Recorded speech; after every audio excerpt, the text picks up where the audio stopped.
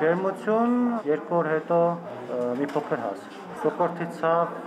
4-5-րդ օրը սկսեց։ 2023 թվականի առաջին շաբաթվա ընթացքում Հայաստանում արձանագրվել է սուր շնչառական վարակների միջին ակտիվություն։ Ընդհանուր դեպքերի 68%-ը կազմում են մինչև 18 տարեկանները։ Կարլեն Եսայանի անվան պոլիկլինիկայի տնօրենի խոսքով սեզոնային ու սուր շնչառական վարակներով պայմանավորված բուժառուների կտրուկ աճ է գրանցվել։ Միջինացված սեզոնային գրիպի եւ սուր շնչառական վարակներով պայմանավորված դեպքերում ունենում ենք մինչև 70-80 դեպք շաբաթական կտրվածքով, այս պայն 150-ն անց է։ Նույն եւ անաշխատունակության թերթիկների մասով համատության համար ասեմ, որ պոլիկլինիկայում գրանցվել է կորոնավիրուսով վարակման ընդամենը 1 դեպք 10 օրվա ընթացքում, բայց սուր շնչառական վարակի 156 դեպք։ Պոլիկլինիկայի թերապևտը հիշեցնում է սուր շնչառական վարակների ախտանշաններն ու հորդորում զգուշ լինել, թույլ չտալ, որ հիվանդությունը բարդանա։ Բժիշկը նշում է, պացիենտների մեծ մասը սկսել է ավելի հետևողական լինել ու վաղ դիմել բժշկի։ Գիտեք ինչ, ջերմությունը տատանվում է։ Օրինակ ասենք ասում են կտրուկ բարձրանում է 38-39, հաջորդ օրը միգուցե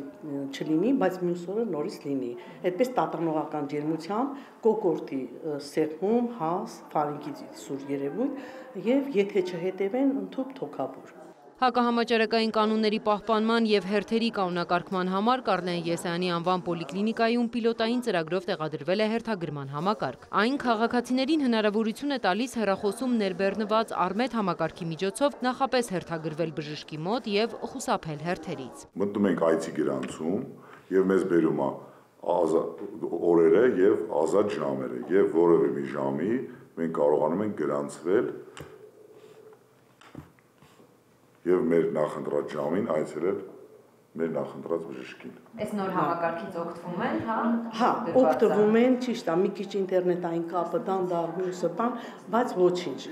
որ գիտենք հետո լավ կլինի, իրանք էլ են հասկանում ու բռնումով ընդունում են։ Պոլիկլինիկայի տնորենը վստահեցնում է, համակարգի ներդրումը չի նշանակում, որ այն քաղաքացիները, որոնք չունեն հեռախոս կամ չեն կարողանում օգտվել հավելվածից, խնդիրներ կունենան։ Տարեցները եւ թոշակառուները կարող են գրանցվել հեռախոսազանգով։ Պացիենտը նախորոք զանգահարում է, որպեսզի մենք գրանցում անենք, տեսնենք ով է բժիշկը,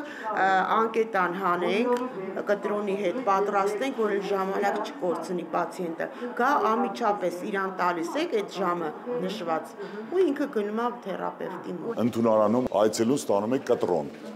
Այս պահին արտացոլված է կտրոնը, համապատասխան կտրոնով գալիս է սենյակ։ Բժիշկը արդեն տեսնում է, որ այցելուն մոտեցել է պոլիգինիկա իր համակարգչի մեջ երևում է սեղմում է արդեն իսկ իր ժամին մոտեցեք կոճակը եւ այցելուն մոտենում է սենյակ։ Համակարգը նաև յուրաքանչյուր պահի ցույց է տալիս պոլիկլինիկայի ծառայություններից օգտվող այցելուների քանակը։ Օրինակ, այս պոլիկլինիկայում մինչև ժամը 12-ը 250 այցելու է սպասարկվել։ Այս կերպ հաշվում է նաև պոլիկլինիկայի որ բաժանմունքն է ամենածանրաբեռնվածն աշխատել։